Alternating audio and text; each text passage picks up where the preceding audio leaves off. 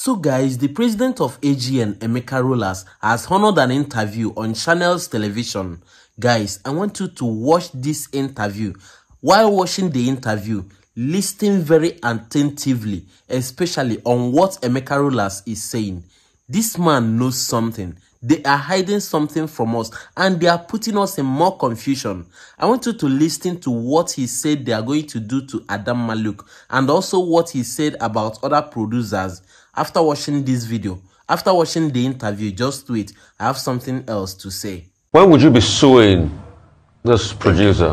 When would you be going to court? Because there are a lot of infractions, very litigable infractions here, and a life has been lost. So when would your association be suing? And probably be suing, you know, the Producers Association too, you know, for not reining in their uh, producer in this case. Because uh, I hear a lot of talk, and I'm taking at sea as regards the level of negligence that goes on in this country.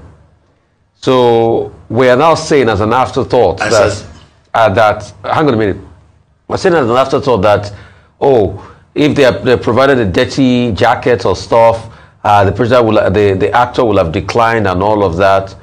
Whose responsibility was there to ensure that if every security or safety measure was not put in place, the boat doesn't move in the first place? Doesn't that fall on the producer? And that's what I'm saying. Where are the litigations going to come? Because, because I don't think if you guys don't sue each other, this will happen again. If there are no damages paid and people go to jail over this matter, this will happen again. So when are you guys suing? At least if we're able to get to the end of this. I want to I want to immediately I want to immediately let you know, uh, like Queen, the president of AM, was just speaking. Uh, our lawyers are already preparing documents because this matter is actionable. Very good. Uh, I'm only waiting for the small committee we have set up to give me the report on all the things that happened. I also learned that not only the day that Junior Pope died, a day, previous day, they still went on the waters without life jackets. At least the video that Junior Pope uh, showed everybody on Instagram the previous day, uh, people on that boat wearing wearing uh, life jackets. So uh, I'm waiting for this report, and as soon as I get a report now, our lawyers will, the Association of Movie Producers will hear from our lawyers. The Adanma Luke production will also hear from our lawyers. The other day we had a, a- an actor who almost died on set because the producer hired a driver who doesn't have driver's license, who doesn't know how to drive. And while he was reversing, he hit the actor, Emmanuel Ayalogu. It was the guild that took him for treatment, hospital, and everything. We spent millions of naira to get him back on track. And the producer was still saying the same thing that, please, please, this is not a profession for brothers or sisters. It's a business profession. If you're a producer, be a producer, put money down, make your film. If you hire an actor, pay him, and he will act. It's not, I beg, do this for me, there's no money. So don't worry about that. We are Okay. on top of So, Emeka Rollas, I've listened to what you said, and you said well. I know you are saying this because you are on channels television. When you come out of that room, can you do this this thing that you said? Can you do that? If you can do it and sue the producers, it will be nice. But let me tell you, you are a pretender. You know every damn thing that is going on in Nollywood, but you are doing nothing. Absolutely nothing.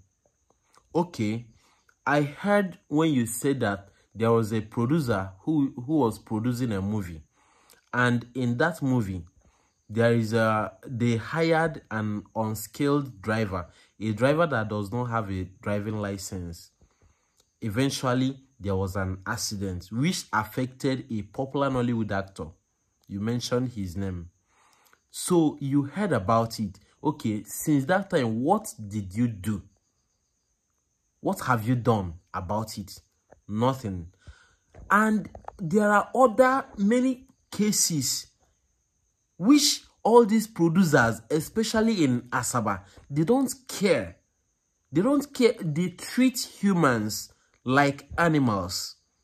You can make some investigation. Call somebody who is acting movie in Asaba, especially upcomers or any crew member. Ask them how producers in Asaba are doing. Even other places, but let me just call Asaba because that's where this thing happened. For about Anam, they are calling Anambra. Uh, um, this Adanma Luke is Asaba producer.